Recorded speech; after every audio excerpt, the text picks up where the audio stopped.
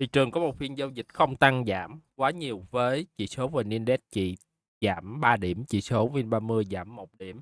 Chủ yếu là gì? Chủ yếu là liên quan tới cái con Novaland anh chị có thể nhìn ở đây.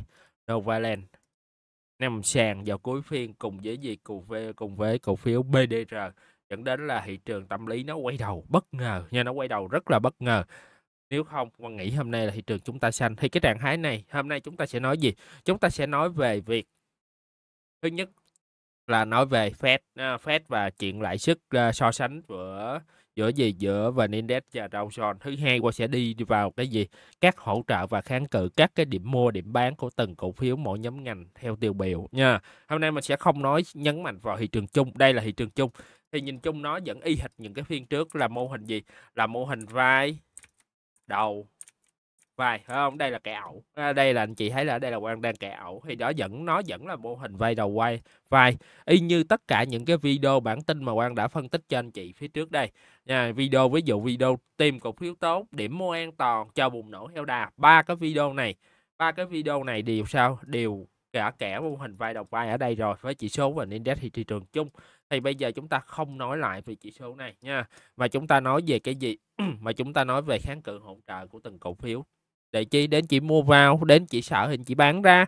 Chứ bây giờ chúng ta cứ nói về thị trường chung, nhưng bản thân chúng ta, nhà đầu tư thì đang nắm nắm cổ phiếu, chứ chúng ta đâu có nắm thị trường nha. Rồi, còn nếu thị trường chung ở đây thì qua chỉ nói duy nhất đó là gì? Đó là cái vùng 1031 bây giờ đây sẽ là kháng cự hoặc là 1030 khúc ngay đây nè. Nếu thị trường đánh mức được qua chỗ này, nó sẽ xác nhận vai đầu và lúc đó anh chị có thể mua bán an toàn nha. Lúc đó có thể mua bán ít nhất là an toàn. Rồi đầu tiên là chúng ta sẽ nói về Dow Jones nha, so sánh với index thì đây, ở đây là dưới đây là thị trường chung, vậy thì trên đây con sẽ sửa thành chỉ số Dow Jones cho anh chị coi. DGF đây, anh chị thấy đây nè, ở trên là Dow Jones nha, đây đây con sẽ xóa bớt những cái đã từng à, kẻ ở đây rồi.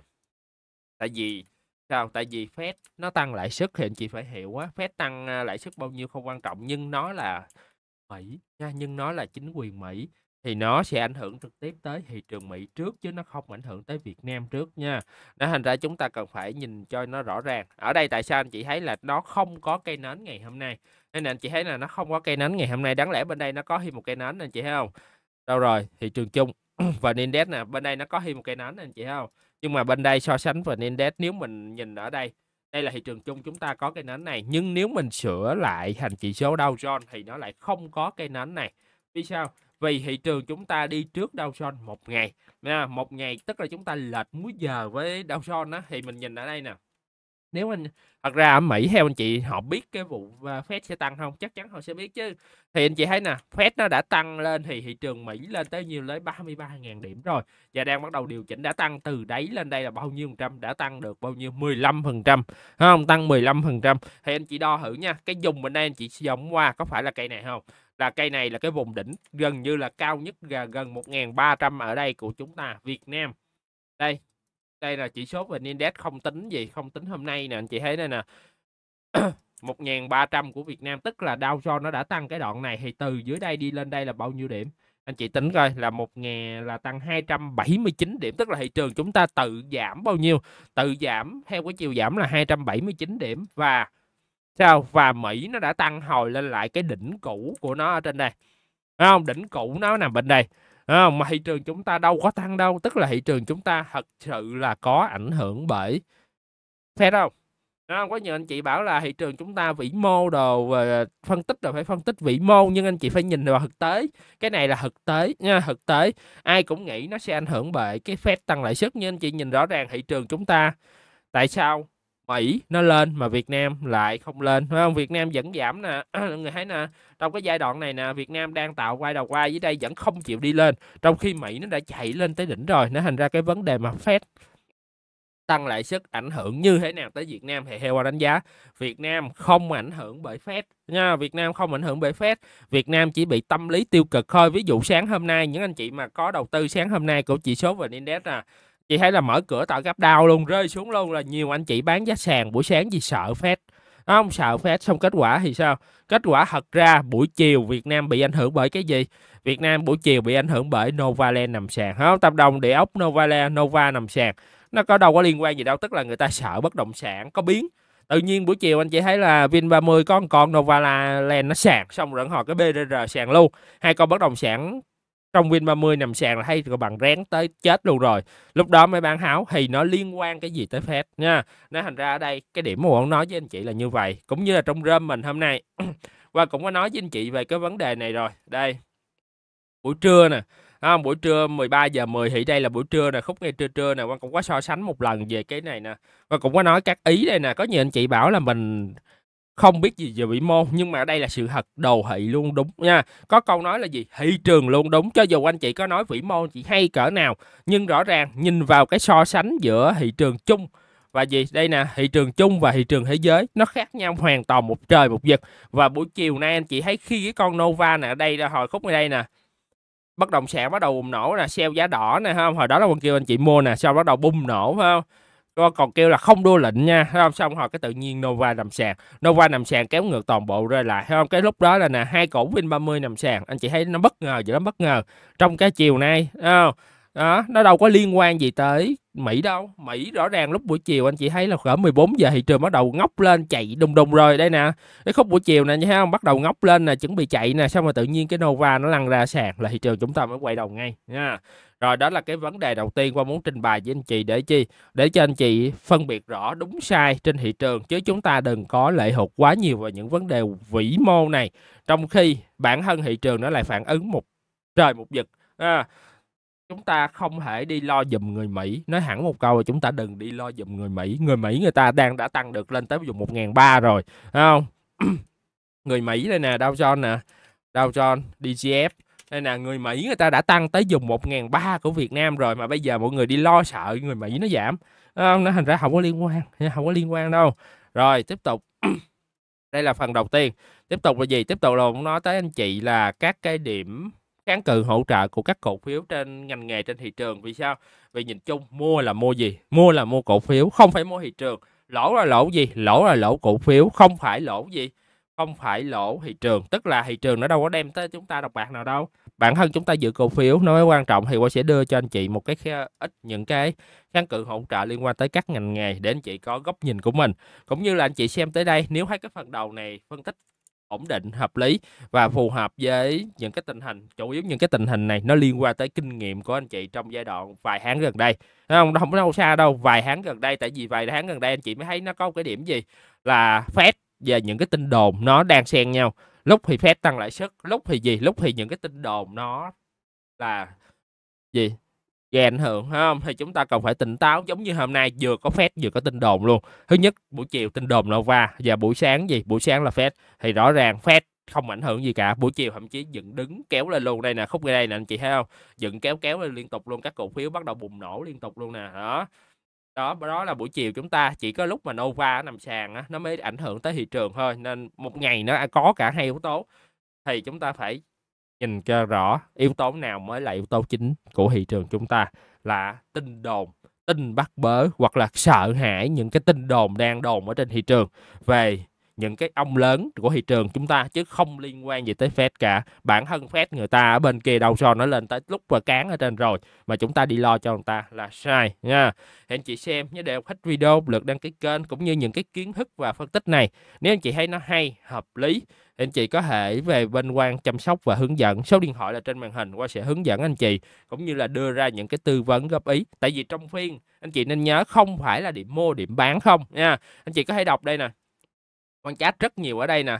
Nhìn chung là khá im lặng nè ha. Tức là không phải trong phiên lúc nào chúng ta cũng gì, cũng mua bán, mà coi khi là diễn biến thị trường nó cũng quan trọng để cho anh chị hiểu và gì, anh chị không hoang mang thì quan chat rất nhiều trong phiên đây, anh chị thấy nè, buổi sáng mà cũng chat rất nhiều nè, sẵn sẽ có những điểm mua nhưng mà đa phần là gì? Là chat rất nhiều. Để chi? Để cho anh chị hù dọ nè ha. Buổi sáng có nói hù dọ nè ha. Để cho anh chị chúng ta bình tĩnh nha đây là bài toán tâm lý. Rồi, tiếp tục. Đầu tiên chúng ta sẽ nói qua các cổ phiếu trụ là MWG trước. Thì con này nó giống như hôm qua có kẻ này chị không? Nó rơi cây xong nó sẽ đỡ lại ngay. Cho nó lại chạy lên thì chỉ quan trọng á là quan trọng là phải bất qua được cái trend giảm. Cái trend nói liên tục từ đỉnh xuống nè nó phải qua được cái vùng này thì anh chị mua nó mới an toàn. Còn trạng thái này anh chị không thể chắc được là nó có lên hay không. Nên với những cái con như MWG Đúng, giá tại đây là hấp nhưng để mua thì cần phải chờ xác nhận nha. Nếu anh chị mua sớm thì anh chị nên chờ điểm nào? Chờ điểm ngay giá 50.5. Đây là điểm mua sớm của anh chị nè. Mua sớm nhưng không mua ờ, full. Nó đi lên nó gặp kháng cự ngay đây 54, nó test lại sau đó bùng nổ vượt 54 mới là điểm anh. Còn điểm bán thì sao? Đụng cái đáy ngay đây 46.7 thì bạn nha. Rồi tiếp tục Novaland thôi chắc mình không phân tích nha. Rồi tiếp tục là gì? Tiếp tục là FPT. FPT là anh chị thấy kháng cự nó nằm đâu? Chắc chắn nhìn vô anh chị sẽ thấy ngay. Kháng cự nó nằm ngay 1 2 3. Thì khi nào nó bước qua được khoảng giá nhiêu? Giá 77 thì chị hãy tính tới cái con này. Nó không qua được dù nó có cơ bản tốt cỡ nào thì thôi, đừng có mua. Tại vì cái trạng thái này câu chuyện xui nó lại nhúng về dưới đây cái là chết nha nó nhúng về đây nó mới đánh thì sao nên nhúng là chết nên thành ra trạng thái này anh chị nên chờ ở đây tích lũy là đẹp rồi, tích lũy là đẹp rồi nhưng phải bước qua được 77 không bước được 77 thì cho dù anh có đẹp cỡ nào, anh cũng không thể làm được gì rồi, tiếp tục BVH không nhúng xuống không? Không nhúng xuống. Đây, thì nhìn chung nó đang giữ như thế này ở đây anh chị thấy nè, nó đang có cái trend giảm nhỏ nè không? Đây là cái dùng đỉnh cũ nè, tức là nó đang tích lũy dựa trên đỉnh và kháng cự không? Kháng cự đây nè. Đó, anh chị thấy không? 53.5 thì khi nào con này đánh qua được 53.5 đây là anh chị, điểm anh chị vào. Thì một vào một lệnh thôi, lên khoảng giá 57 thì anh chị bán ra không? Kháng cự nó nè, chớp ngay đây nè. Cái cây nến là cây nến có khối lượng lớn nè, khối lượng đây là nhiêu? Khối lượng ở đây là 4 triệu 4 triệu 4 nè. Cây nến có khối lượng rất lớn, anh chị thấy không? Là một đống nhà đầu tư đang kẹt ở chỗ này nè. Thì khi nó lên cây này là anh chị phải bán, không là anh, người ta trên người ta xả xuống nha. Rồi, đó là các cổ phiếu trụ. Tiếp tục mình nói tới nhóm ngân hàng. STB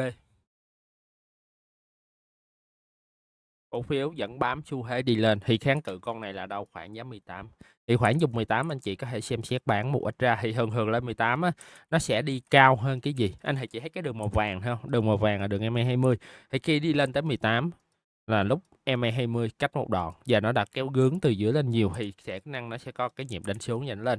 Thì những anh chị mà đã mua STB trong những cái phiên vừa rồi, ở khúc ngay đây nè, những cái khúc ngay đây nè, phải không? Thì lên 18 anh chị canh bán ra, chờ nó nhúng xuống thì chị mua lại nha rồi, tiếp tục. MBB. MBB ở đây. Nó có hai trường hợp, nếu ngày mai nó bứt được cái đây là khoảng giá nhiều khoảng giá 18.5 thì khả năng nó sẽ chạy thẳng lên 20 bùng nổ theo đà luôn. Còn nếu mà không xấu quá thì nó sẽ có thể rơi lại, nó test giá 17 anh chị nó test lại may 20 nó giống như cái trường hợp con STB nãy quan kẻ anh chị ở trên đây nè. Không? Nó lên, nó vừa qua cái đường vàng, nó sẽ đi lên cao, sau đó nó rơi, nó test lại. Thì cái con MBB ở đây nó cũng vậy, nó sẽ test lại cái đường vàng do nó đã đi lên cao, rồi nó đi xuống. Anh chị thấy không? Sao nó mới đi lên. Đó, nè đây nó có một cái trường hợp là nó nhúng luôn, nó test cái đường vàng. Hay là nó chạy lên lại, tức là cũng coi như test gần xong rồi. Rồi, test cơm banh. Test cơm banh hôm nay giật lên, ha, giật lên vậy là ok thì anh chị cứ lưu ý cái giá nhiều giá 26 nếu Techcombank mà đánh vượt được 26 sẽ có một cái điểm mua vào lên khoảng 30 31 thì anh chị bạn ra. À, lên 30 31 thì bạn ra. Rồi tiếp tục CTG CTG ở đây nè anh chị thấy không? Lên chạm ở trên thì nó rơi xuống tới đây luôn rồi. Đây nó rơi xuống tới đây luôn rồi. Thì CTG ở đây nếu thị trường quá xấu nha CTG sẽ về 22.5 còn không ở trạng thái này chỉ cần nó lên lại nó vượt qua khoảng cái giá 24.5 là nó sẽ chạy xong mới nó sẽ chạy tiếp á chạy tiếp lên khoảng giá 27 anh chị lưu ý giúp quan còn đây thì hôm qua không tư vấn mua do nó hơi cao. Liên việt liên việt cũng có cái nhịp nhúng rồi. Không nhúng về tới cái đường vàng ở dưới đây, mà nhúng về thôi cũng chấp nhận. Thì liên việt nếu nó bước qua giá như 12.2 12.2 anh chị lưu ý là bước qua 12.2 có thể mua thêm. Target là 13.5 thì bạn ra. Ngắn thôi, còn dài thì 15 nha. Yeah. rồi tiếp tục mình nói tới chứng khoán và tài chính. SSI đã đánh lên đã có nhịp test lại trên. Vậy là ok chứ? Ok rồi, đó. Thì anh chị lưu ý những anh chị đang giữ hàng, anh chị lưu ý giá 17 nha. Nếu ai đã nó qua 17 anh chị có thể mua thêm. Còn mua mới cũng được, một lệnh thôi. Mua lên 18 tới 19 thì anh chị canh bán khúc này.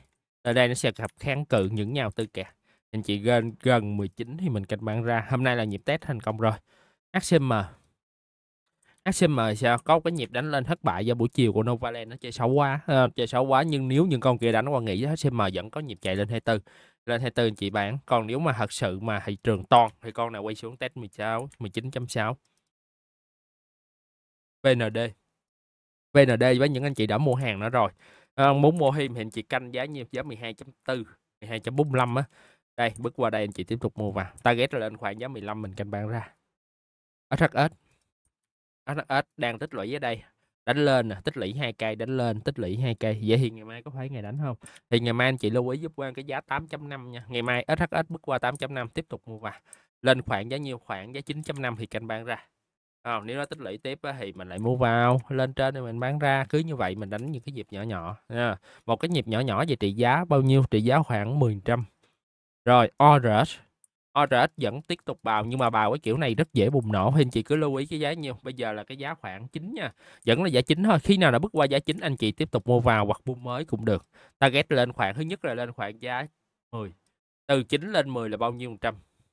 Là khoảng 10%. Sau đó nó sẽ đi lên tiếp 11 là khoảng 10% nữa. Nhìn chung là nhìn nhỏ nhỏ nhưng mà mua nó lại dễ ăn hơn. Những cái con này nó chỉ đang chờ thôi, chờ ngành trứng nó đánh thật sự là con này nó trần ngay đó.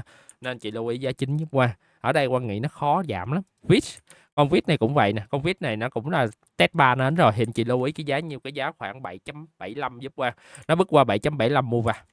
Lên nhiều, lên tới 8 8.6, 8.5 gì đó cũng được nhiêu trăm cũng được khoảng là 10% anh chị bán ra. Sau đó chờ nó test lại giống giống vậy nè, nếu mà ok đẹp nó lại đánh lên, chị lại mua vào, lên tới khoảng 10 anh chị bán ra.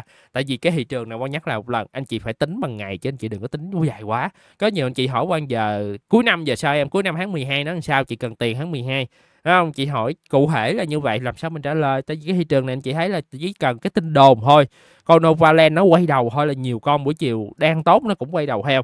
Nên thành ra chúng ta không thể nói quá xa được, chúng ta chỉ nói những cái điểm nhỏ đánh ngắn thôi, đừng có dài quá. Do T cộng 2.5 bây giờ nó đang là một cái gì đó áp lực, nếu không có cái T 2.5 coi khi nó lại ngon. Nhưng mà đây là T 2.5 rồi nha.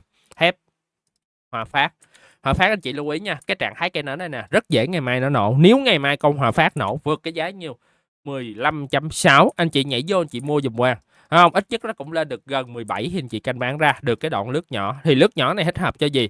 Anh chị gom hàng khúc này nè đang lỗ trung bình giá vào còn mua mới thì thôi đừng mua nha hoa sen. Hoa sen thì sao? Hoa sen mình kẻ kỹ lên nha. Thì hoa sen anh chị lưu ý cái giá 12.7 nếu hoa sen đánh bước qua được 12.7 đây là cái điểm mua thứ nhất.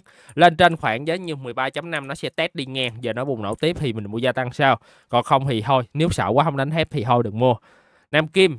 Nam Kim là giá nhiêu? Nam Kim là giá 13.5 khi Nam Kim bước qua được 13.5 nó sẽ chạy lên 15 thì canh bán ra cho những anh chị đang kẹt hàng. Còn mua mới thì tùy anh chị yeah, mua mới thì tùy anh chị thôi rồi dầu khí năng lượng PVD PVD sao? Hôm nay làm cái cây rút chân ha. Hôm qua bữa dụ anh chị mất hàng này làm cây rút chân. Thì trạng thái này nếu ngày mai PVD đánh vượt qua giá như 17.8 18 anh chị có thể thử thăm dò vào 50% hàng. Sau đó lên tới giá 19 nó test lại cái nữa đẹp nó bùng nổ lên thì nó sẽ có thể nó chạy lên tới 22 lại luôn. À, hoặc ít nhất anh chị cũng lời được đoạn nhỏ. À, đó là BVD tức là hôm nay là cái cây hấp hàng thôi cái cây hấp hàng của ngành dầu khí cái test cung thôi nha. Rồi BVC BVC tương tự BVD chỉ là cái mẫu nến hơi xấu hơn thôi. Đây nè đánh tăng mạnh thì nay test lại thôi. Thì BVC anh chị lưu ý giá 15.5 BR BR hình anh chị lưu ý là giá nhiêu?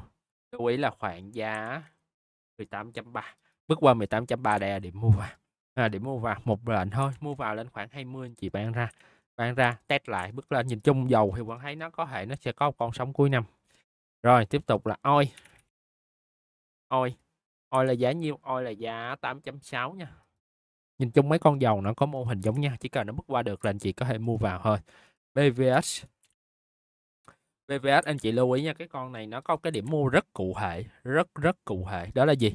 Là bước qua giá 23 khoảng 23 chấm mấy 23.2 tại vì đây là cái trend không? cái trend đi từ đỉnh xuống nè, không bước qua được lần nào cả. Bao nhiêu lần nè? Một lần, hai lần, ba lần, bốn lần, năm lần, sáu lần, bảy lần 8 lần. Không lần nào qua được hết thì chỉ cần nó qua được anh chị mua vào 23.2 mua vào ngay mua vào xong nó lên khoảng 24.5 nó test lại thì mình mua gia tăng, sau đó nó lên tiếp. Cái này qua sẽ hướng dẫn anh chị trong rơm của mình.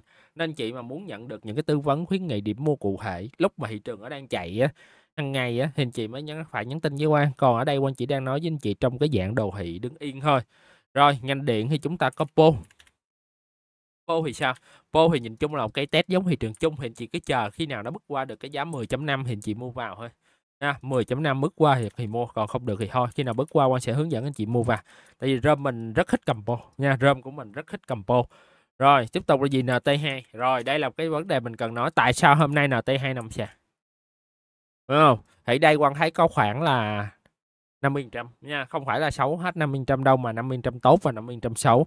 50% xấu là gì? Đây hôm nay là phải bán không bán là chết nha không bán là chết. Tại vì lỡ nó đi xuống tới là cái giá 20 sao? Không, đó đó là sầu tốt là gì? Là nguyên cái giai đoạn này tích lũy từ ngày 30 tháng 9 tới bây giờ là ngày nhiêu? Ngày 3 tháng 11 rồi, tích lũy hai tháng trời không lên được.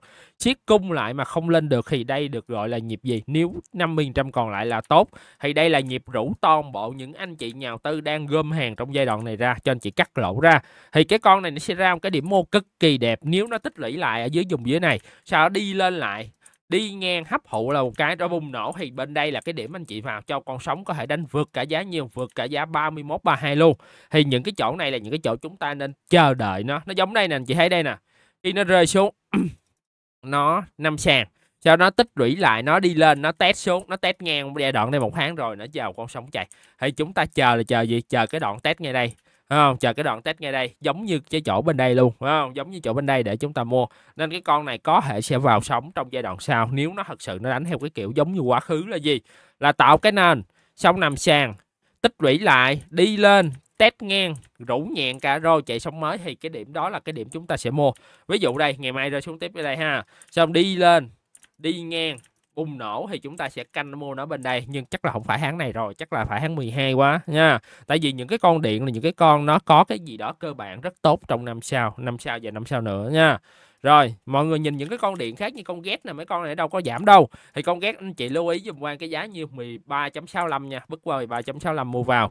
GEG luôn nè, cho anh chị coi luôn, những cái con này ở đâu có giảm đâu. Tức là chỉ có con NT2 đang rủ ra thôi 13.3 bước qua thì mua vào. BC1 tương tự luôn cho sẵn thì coi hết luôn.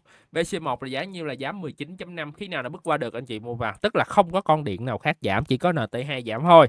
Nên cái xác sức ở đây, con này đang sprint nha, đang sprint rồi, tiếp tục mình nói tới ngành bất động sản và dịch vụ. Mình sẽ không nói những cái biến động của BDR và Novaland. Nhìn chung đó là tỉnh đồn, chúng ta không tính được. Chúng ta chỉ nói đồ thị thôi. Đi ra vẫn như cũ à, vẫn như cũ mọi người thấy nè một điểm 2 điểm 3 điểm 4 điểm. Thì cái điểm nào là điểm quan trọng? Điểm 19.2 19.3 ngay đây. Khi nào nó bước qua anh chị mua thôi. Cái cây này anh chị đâu trần. T0 T1 T2 T2 gì bán lỗ. Ờ, T2 gì bán lỗ chứ nữa. Tại cây này tăng 6,8% cây này nhiêu ta? Giảm 1,6 cây này giảm tiếp 4,3 là lỗ rồi. Còn gì nữa không? Đó, nè hấp hơn cái đáy này bên đây nè. Anh chị thấy không? Hấp hơn đó. Nó thành ra là với trạng thái này đi rồi anh chị cứ chờ bước qua 19 nếu mà nói đó 19.3 thì chị mua vào còn không thì thôi. Nhưng mà đựng cái là gì? Khối lượng đang đẹp ở đây nha mọi thứ đang khá là đẹp phân phối sàn đang khá là ok. Sale Xe hôm nay ham chiếu ôi rất là đẹp nha anh chị thấy nè đây nè anh chị coi nè. Hôm nay quan có nói anh chị mình canh mua bất động sản trong phiên đây. Buổi sáng là quan kêu anh chị mua HCM, HSS, Techcombank là chờ chiều rồi mua vào. Tiếp tục tí qua nói anh chị là bất động sản nếu anh chị muốn nhặt giá đỏ thì sale DG, EGC đất xanh có thể nhặt giá đỏ thì nhặt tân hữu kỷ lực thôi. Đó, thì đây, anh chị thấy đây, đóng cửa ham chiếu là giá đỏ, anh chị lời được không? Đây, anh chị thấy nó có cái chớp nè. Thì con sale ngày mai anh chị mua gia tăng khi nó vượt 14.5 nó sẽ xác nhận, nó bước qua mô hình vai đầu, vai phải vai phải nhỏ thôi, bước qua đây thì anh chị mua thêm. Target là anh chị lên được khoảng giá nhiêu? 17.5 từ dưới đây nè. Hôm nay anh chị mua vào, lên tới đây anh chị lời được nhiêu? Chị lợi được 40 trăm. Là được 40 trăm đó, không ít đâu đó thành ra hôm nay qua đã hướng dẫn anh chị nhặt trước rồi, ngày mai nó ok. Con sẽ thông báo anh chị mua thêm. Rồi, tiếp tục đất xanh. Đất xanh cũng vậy. Nè qua có kẻ anh chị nó sẽ test xuống nè. Giờ test xong rồi sao? Test xong rồi chờ đánh lên thôi. Chờ nó đánh vượt qua giá nhiêu nó vượt qua giá 14.4 là anh chị mua thêm giúp Quang target lên lại giá 17 thì mình canh bán ra. Là đây nó test xuống mình lại canh mua vào. Bứt lên mình lại mua tiếp. À, à, nhầm nhầm. À, đúng rồi mua tiếp. Xong rồi lên trên đây thì mình bán ra. Đó là cái cách đầu tư của Quang trong giai đoạn này. Lướt những điểm nhỏ để đắp vào những điểm lớn. Tại vì thị trường nó không hề ổn định để chúng ta có thể đầu tư lâu dài nha rồi tiếp tục là gì? EGC EGC EGC tương tự như nhau hết thôi. Mấy con bất động sản mà thì đó là giá nhiêu giá 13.7 nha, cỡ 13.7 bước qua là qua hướng dẫn anh chị ngay trong phiên là mua ngay. Rồi, đó là ngành bất động sản, đầu tư công chúng ta có CI CI hôm qua mình mua cây này rồi, nên hôm nay mình không có mua. Thì anh chị lưu ý nha, ngày mai nếu nó CI nó bước qua giá 16.7 thì anh chị mua vào thêm. Nó sẽ chạy lên được 18.5 tại sao? Tại vì hôm nay nó bị Novaland ảnh hưởng, nhưng nếu ngày mai nó đánh tiếp tục thì mình lại mua vào thôi. Nha, còn hôm nay qua không có kêu, tại vì nó hai giá này giống nhau, mua anh chị rồi, ha bình. Hòa bình. HBC HBC hôm nay bức nền chị thấy không? Đánh vậy là ngon rồi, thấy không? Đánh vậy là ngon. Thì hòa bình anh chị đã đã mua vào chưa? Đó, nè bất ngang cái điểm mua nào không? Thì con này nó sẽ chạy hẳn lên khoảng giá như 12.5 lên đây nó sẽ test lại. Thì cái điểm test này nếu đẹp chúng ta sẽ vào. Để cho cái sóng đánh lên 14 tức là mình không mua điểm này. Do mình đã mua CI thì lên đây mình sẽ mua cho cái điểm này. Đó đó là cái cách đầu tư. G36 con này hôm nay đã có cây tiền vào nè anh chị không? Đã có tiền vào rồi. Thì anh chị lưu ý, nó chỉ cần bước qua giá 6 nên chị mua vào thêm lên khoảng nhiêu? 7 thì bạn ra. Từ 6 lên 7 cũng được nhiều rồi nha. Cũng được khoảng 20 trăm. Tiếp tục mình nói tới gì? Phân bón hóa chất DCM gãy. Gãy xong giật lại ngay phải không? Gãy xong giật lại ngay đó là bình thường thôi. Nó sẽ có hồi, nó sẽ test lại đó. Nó test lại thành công nếu nó chạy lên đây luôn. Nó test ngang, nó bùng nổ. Thì cái điểm quan trọng của con DCM là giá 38 nha. Nhầm, giá nhiêu? Giá 33.8 nha. Thì cái, cái điểm 33.8 đây là cái điểm mua DCM target lên 40 còn ở dưới đây không khuyến khích anh chị nhảy vào mua nha qua không khuyến khích anh chị nhảy vào mua. Rồi DBM luôn tương tự thôi. Đánh cái kiểu này rất khó đầu tư anh chị phải chờ nó chạy lên 47 nó test ngang rồi quả may nó chạy lên được 450 con này khó mua hơn DCM DCM anh chị bảo quan là mua trên đây gì cao dữ vậy em? Thì con DBM còn khó hơn DBM nha. Còn khó hơn vì sao? Vì đây nó một cái đỉnh đây nó hai cái đỉnh không? Nhưng mà nó chỉ cần lủng ở đây cái là nó đi luôn, nó chỉ cần lủng ở đây cái là đi luôn thôi. Tiếp tục mình sẽ nói tới gì thủy sản TNG TNG ở đây lâu rồi, không phân tích thì mình coi lại thôi, đó là giá 17 nha. Anh chị mà đang dự nó lưu ý nó chỉ cần bùng nổ vượt qua 17 anh chị có thể nhảy vào mua. 17.2 cụ thể là 17.2 mua một lệnh thôi. Đây là hai đáy hai đáy vượt 17.2 là mua vào target lên khoảng giá 21 thì mình canh bán ra, trung bình giá rồi thì lên 21 bán ra hoặc là đánh T cộng từ đây lên đây thì bán ra. Rồi, tiếp tục là gì? VGT cái con này thì nhìn chung là xuống giá 11 luôn rồi. Thì anh chị lưu ý là giá nhiêu thì nó vượt qua 12.4 12.4 thì bước lên anh chị mua vào, lên khoảng giá nhiêu? Giá 14 bán ra. ANV lâu rồi quá, không có phân tích mấy con này.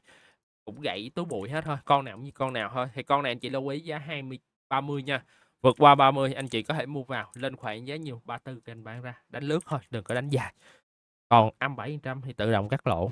Cản biển HAH cũng hai đáy rồi nè anh chị thấy không hai đáy rồi. Thì anh chị lưu ý giá nhiều, giá 33.5 35.5 bước qua giá 35.5 hãy nhảy vào mua đánh T cộng lên giá nhiều. 43 42 43 canh bán hết. Nếu ở đây nó test đẹp, nó bước lên, nó tạo đáy test đẹp bước lên, mình lại hướng dẫn anh chị nhảy vào mua rồi thì đó là toàn bộ những cổ phiếu trên thị trường cũng như là các cái mô hình điểm mua điểm bán giải thích cung cầu Dow Jones, Fed. Và Quang đã nói anh chị từ đầu bản tin tới giờ thì hy vọng là qua cái video này anh chị sẽ có một cái góc nhìn của mình về thị trường chung về các cái cổ phiếu. Không phải cái con nào cũng xấu đâu thật ra hôm nay nó bị tán ngược về của phiên nó chỉ ảnh hưởng tới con Novaland BDR phát đạt thôi còn những cái con khác trên thị trường, phần lớn nó không có bị ảnh hưởng gì quá nhiều. Thậm chí như Shell tạo mẫu hình nến rất đẹp, ngày mai chỉ cần bước 14.5 sẽ bước vào xu thế chạy mạnh lên tới à, 16 17 ngay. Nha, rồi, thì đó là tất cả. Anh chị xem nhớ để một lượt thích video, một lượt đăng ký kênh. Nếu có vấn đề thắc mắc có thể nhắn tin với Quang, số điện thoại Zalo trên màn hình. Xin chào anh chị nhà đầu tư.